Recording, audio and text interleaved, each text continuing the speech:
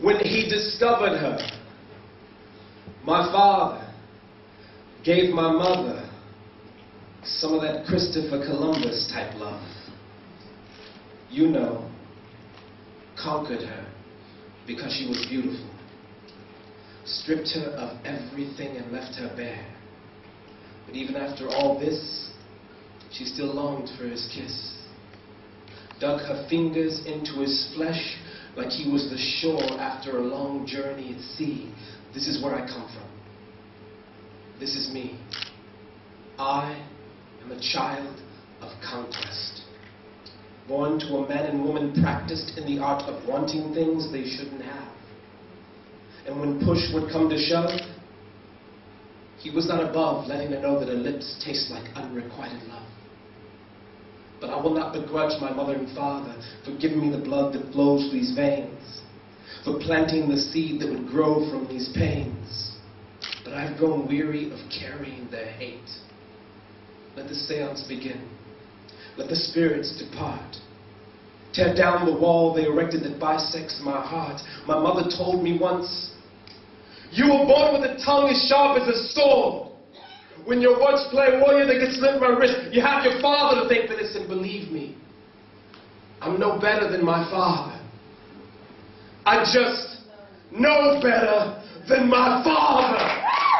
I was never blind enough to mistake love for slaughter. So if you have the courage to place your hand in mine, I will take the opportunity to kiss your pulse. Bar the feel of your skin against my lips for every twisted impulse that he instilled in me. But I, I look too much like my father for my mother to believe. And I look too much like my mother for my father to grieve about what he did to her or what he did to me.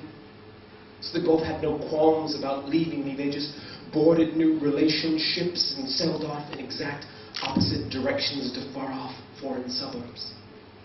They each took half of my heart and left me the wall, with no way to get to the other side.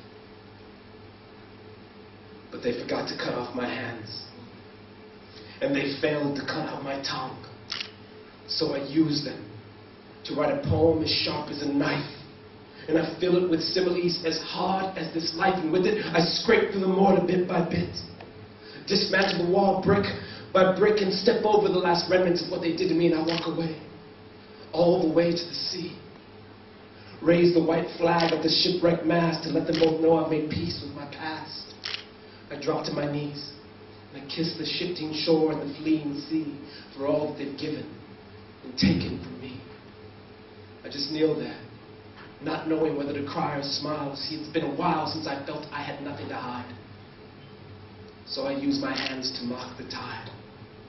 And I carve you both one last poem in the sand that simply reads,